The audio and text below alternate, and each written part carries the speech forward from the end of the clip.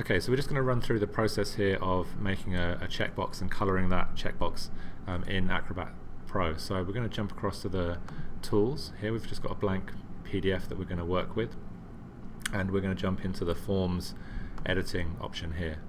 Okay, so we're editing a brand new form so it's asking if we want to create a new field. We don't need to do that so we'll just jump straight into this and then we're going to add a new field which will be our checkbox okay. And then once we've got the the checkbox set up we'll click to create the new checkbox. And then we're going to jump into all properties. Okay.